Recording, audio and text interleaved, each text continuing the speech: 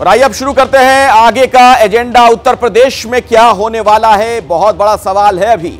UP में सियासी हलचल है। यूपी के डिप्टी सीएम केशव प्रसाद मौर्य की दिल्ली में बीजेपी के राष्ट्रीय अध्यक्ष जेपी नड्डा के साथ मुलाकात में जो बात हुई, उससे जुड़ी कुछ अहम जानकारी एबीपी न्यूज़ को पता चली है। आपको बता दें अभी की बड़ी खबर, ब्रेकिंग न्यूज़।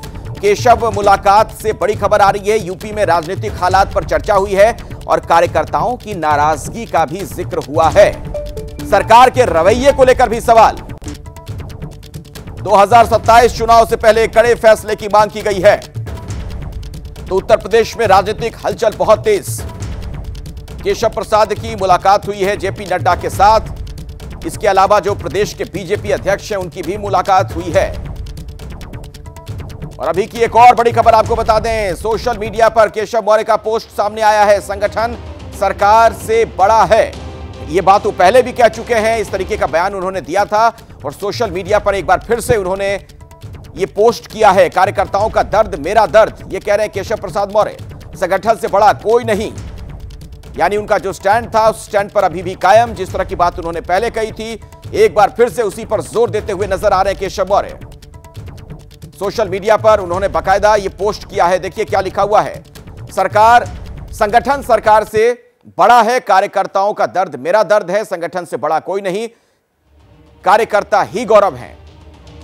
यह बात लिखी गई है केशव मौर्य की तरफ़ से। इसी खबर पर अधिक जानकारी के साथ मेरे साथ दिल्ली से नीरज पांडे मेरे सहयोगी जुड़ गए हैं। लखनऊ भी आपको लिए चलेंगे। अभिषेक उपाध्याय मेरे साथ मौजूद हैं और संजय त्रिपाठी भी हमारे साथ जुड़े हुए हैं। सबसे पहले अभिषेक, ये बताइए कि जो मुलाकात हुई है केशव मौर्य की उससे जुड़ी और क्या जानकारी सामने आ रही है? क्या क्या बातें हुई हैं इस मुलाकात में? देखिए दो बातें बहुत ही महत्वपूर्ण हैं जो मैं आपको बताना चाहूँगा। पहली बात तो ये ये कोई प्री प्लान्ड मुलाकात नहीं थी जैसा कि कहा जा रहा है। ये मुलाकात तय हुई जिस दिन प्रदेश कार्य समिति की बैठक थी। संडे को नड्डा जी यहाँ पर आए हुए थे और उस समय जो बातचीत बातचीत हुई उसी में ये तय हुआ कि वो पाँच जो संगठन और सरकार के पाँच बड़े चेहरे हैं उनसे एक एक करके मिलेंगे जिसमें कि सीएम योगी आदित्यनाथ से लेकर के केशव मौर्य ब्रजेश पाठक संगठन महामंत्री धर्मपाल और, और प्रदेश अध्यक्ष भूपेन्द्र चौधरी ये सब के सब शामिल हैं। कल एक दिन पहले बाकायदा इसके लिए फ़ोन आया है, उसके बाद केशव मौर्य गए हैं भूपेन्द्र चौधरी गए हैं, और वहाँ पर हमारी पास पक्की जानकारी इस बात की कि केशव मौर्य ने पूरा यूपी की एक्चुअल कंडीशन खोल करके रख दी है। क्योंकि उस प्रदेश कार्य समिति की बैठक में इस तरह से वन टू वन बातचीत नहीं हो पाई थी। केशव मौर्य ने दो बड़ी बातें अहम बताई सोर्सेज ये बता रहे हैं। केशव मौर्य ने नहीं, बल्कि केशव मौर्य भूपेन्द्र चौधरी, दोनों लोगों की बातों का जो निचोड़ है, वो यही है कि यूपी में कार्यकर्ताओं में हताशा और निराशा और बढ़ती जा रही है। आप इस पर ध्यान दीजिएगा। ये जो ज़ोर देकर के मैं बात कर रहा हूँ, और बढ़ती जा रही है। दूसरी बात ये कही कि कोई निराकरण का भी रास्ता नहीं निकला है। तीसरी बात ये कही कि हताशा और निराशा जो बढ़ रही है, अगर इसका रास्ता नहीं निकाला गया तो 2027 के लिए आसान नहीं है और चौथी बात ये कही कही है कि एक कंक्रीट रोड मैप सामने आ जाए और वो सामने आएगा, तभी रास्ता निकलेगा। इन हालातों में रास्ता नहीं निकलने वाला है। और मैं एक बात आपको और बता दूँ कि केशव मौर्या का जिस ट्वीट का भी आप ज़िक्र कर रहे थे, ये ट्वीट इसी, ये जो मैं आपको सारी बातें बता रहा हूँ, एपी न्यूज़ जो खबर ब्रेक कर रहा है, जो जानकारी दे रहा है, ये इसी दायरे के इर्द गिर्द है। वरना केशव मौर्य जो बात को, संडे को कह चुके हैं, कार्य समिति में, उसको आज ट्वीट करने का कोई और आशय नहीं था। ये वही संदेश है और संदेश शीशे की तरह साफ़ है। ठीक है अभिषेक मैं दोबारा आपके पास लौटूँगा। बाकी मेरे सहयोगी भी जुड़े हुए हैं। इस बीच एक अहम खबर और है सूत्रों के मुताबिक जेपी नड्डा से मुलाकात में यूपी को लेकर कई मुद्दे उठे। समस्याओं और उनके समाधान को लेकर चर्चा हुई और यह बात भी सामने आई है। योगी सरकार जमीनी फीडबैक के बगैर काम कर रही है। यह बात भी कही गई है सूत्र हमें बता रहे हैं। प्राइमरी टीचरों की डिजिटल हाजिरी का मुद्दा भी उठा है। बुलडोजर एक्शन को अलोकप्रिय फैसला बताया गया। इस बात का भी ज़िक्र हुआ है कि प्रदेश कार्य समिति की बैठक के बाद भी सरकार के रवैये में बदलाव नहीं हुआ है। अभिषेक, ये जो बातें सामने आ रही हैं, कुल मिलाकर ऐसा लग रहा है कि योगी सरकार के कामकाज को लेकर ही तमाम बातें रखी गई हैं, फीडबैक। बिल्कुल, देखिए, आप जो बात कह रहे हैं, वही निचोड़ है।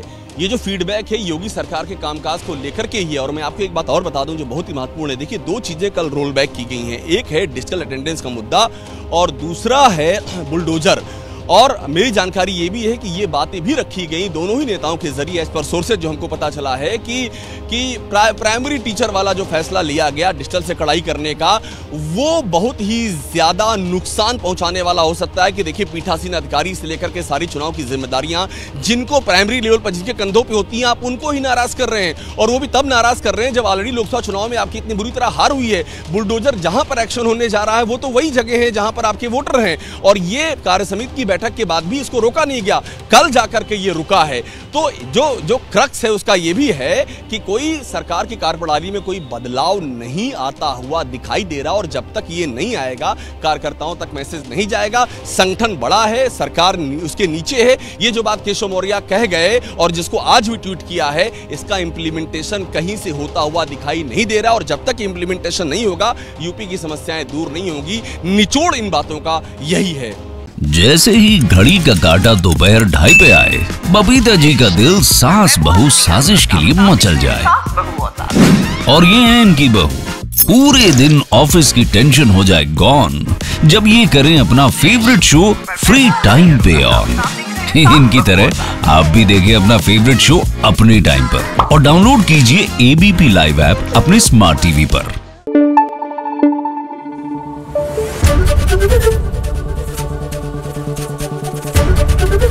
ABP news.